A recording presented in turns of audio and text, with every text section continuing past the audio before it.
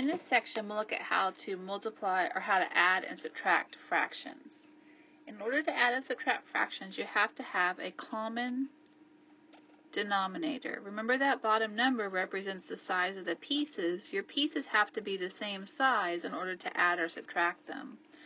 So like in example 1, we have 5 elevenths plus 4 elevenths. Well, those are both elevenths, so we can just add the number of pieces it's like those are shaded. So we have five pieces that are shaded and four pieces that are shaded. That gives us nine shaded pieces because they're all elevenths or nine elevenths.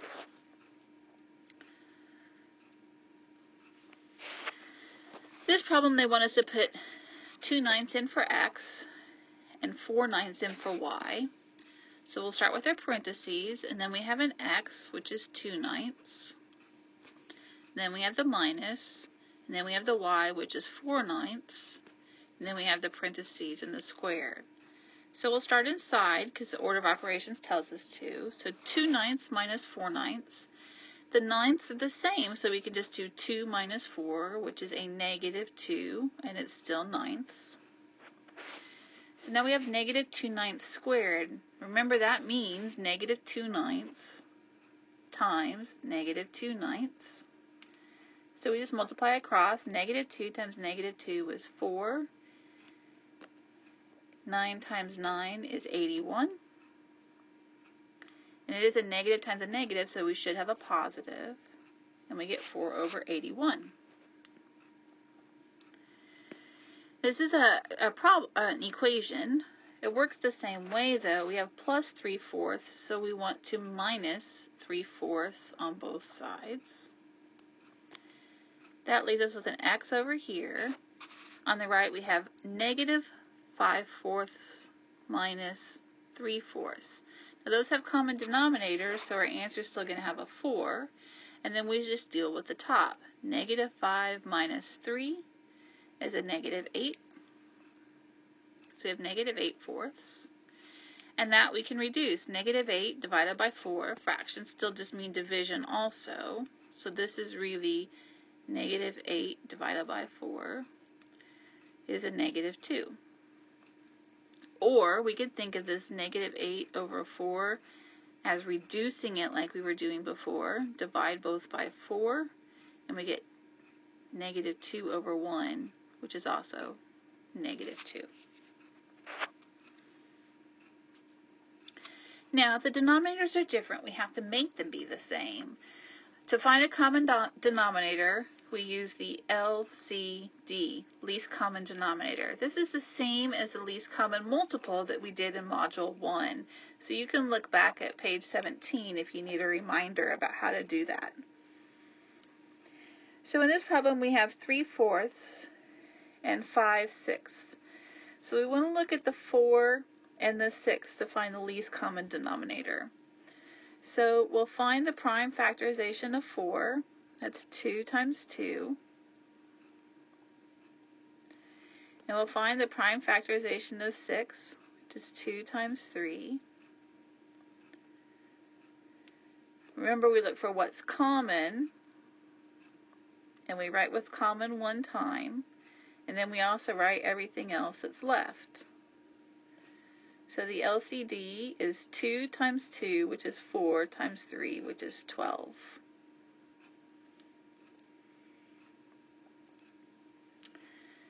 So in this problem, we want to do the same thing. We have 11 twelfths minus 18, 11 eighteenths. Our denominators are not the same, so we have to look at 12 and we have to look at 18. So we'll find the prime factorization of 12. So 12 is 2 times 2 times 3. And we'll find the prime factorization of 18. 18 is 2 times 3 times 3. We look for what's in common. We write what's in common once. And then we also have to write the things that are left. Times 2 times 3. So we get this LCD we multiply these numbers together. 2 times 3 is 6, times 2 is 12, times 3 is 36.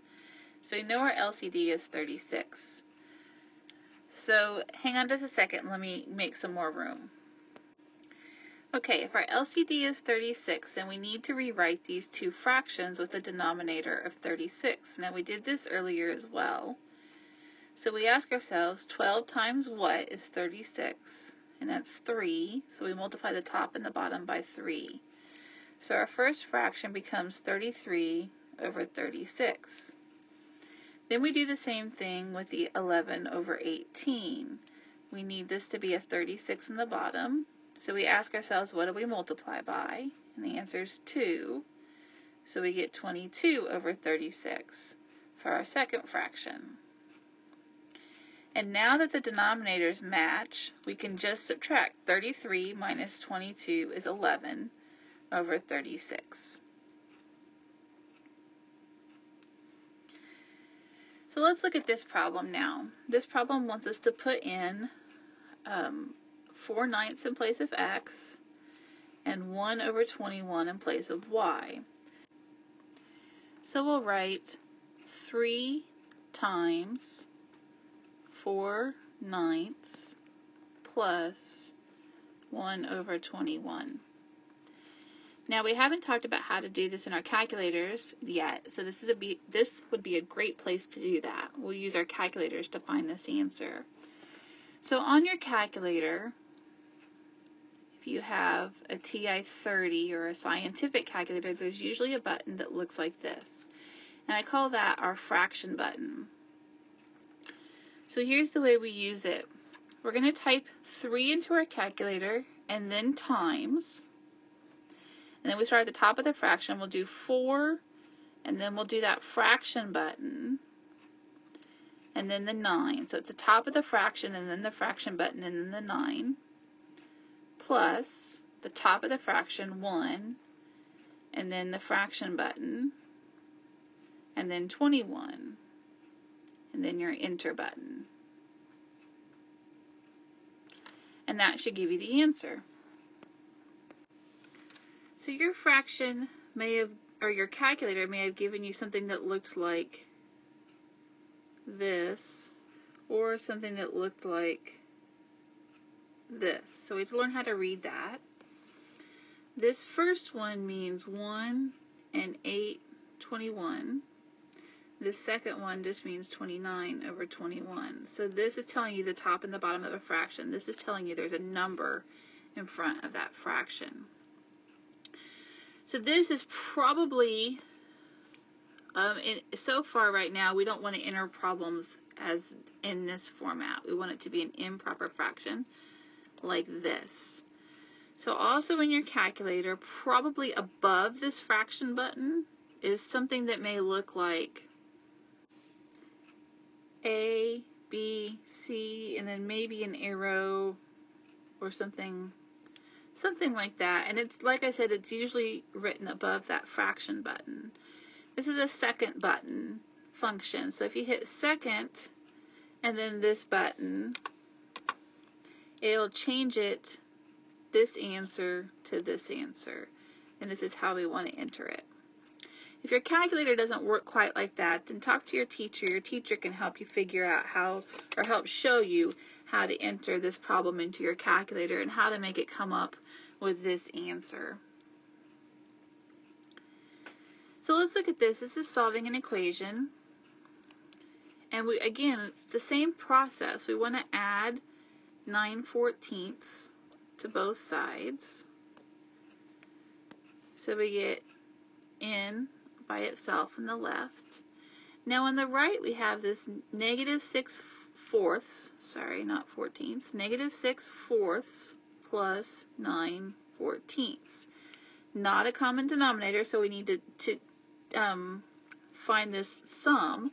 So we can do that in our calculators. Again, we're going to type negative 6. Remember that negative is usually in a separate button. The fraction button, and then the 4, plus 9, and then the fraction button, and then the 14, and then enter. So let me do that.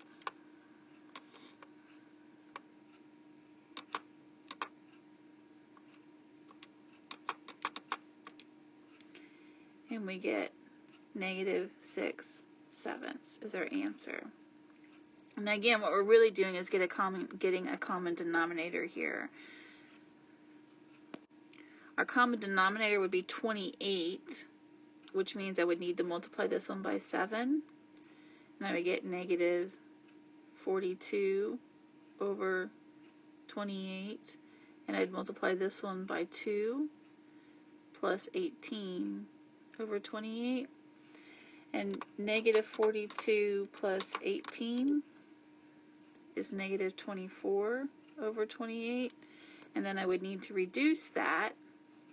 Divide by 4, divide by 4. And that's what gives me this negative 6 sevenths from my calculator. Let's look at one more. In this problem, we have an x on top. Now that doesn't change a whole lot. We still need to, let's pretend first of all that the problem is just 9 over 49 plus 9 over 21. We can find that in our calculator. We've been doing that a couple times now. So you're going to do 9 fraction button 49 plus 9 fraction button 21. And your calculator tells us it's 30 over 49. Now this had an x and this had an x, which means they were like terms, so we could add them together, but it also means our answer has an x. So the only difference between this problem and this problem is that we need to put the x on top beside the 30 because both those 9s had x's to begin with.